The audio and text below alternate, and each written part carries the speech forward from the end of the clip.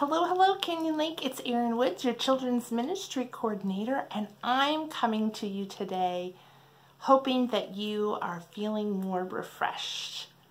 Today, we're refreshing ourselves by talking about not letting things hold us back. You know that I always like to have some sort of visual to help you understand what our lesson is today.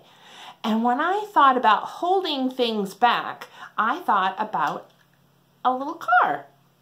But this is a special little car because it's one of those cars where you can pull back and then let go. Do you hear it? These little cars are super fun, aren't they? Because you can pull them back and let go and they go on their own. But what happens if you pull it back and then you never let it go?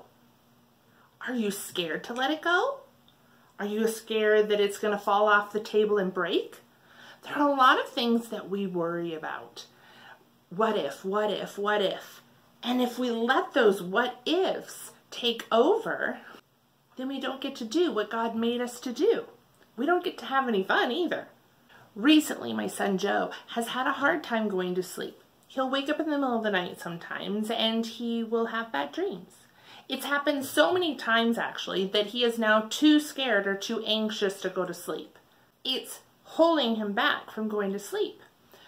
What we talked about last night is we talked about letting go of the fear of having a bad dream or not being able to sleep through the night so that he could get a good night's sleep. And it's hard to let that go. So we prayed about it.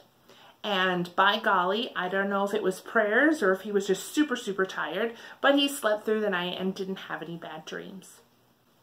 What kind of things worry you? Is it COVID? Is it friends going to school? Maybe they're not nice. Are you worried about what's going to happen at school? There's so many things that can worry us and hold us back.